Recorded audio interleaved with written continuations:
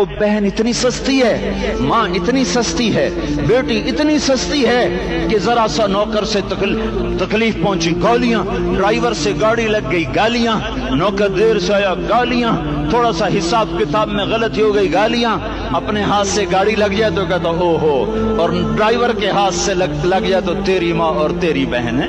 अपने हाथ से नुकसान हो जाए ओहो और नौकर के हाथ से हो जाए तेरी माँ तेरी बहन सुन लो सुन लो सुन लो, तुम्हें गवाह बना के कह रहा हूँ, बैतुल्ला को तोड़ना छोटा गुना है और किसी मुसलमान को माँ बेटी बहन की गाली देना बड़ा गुना है।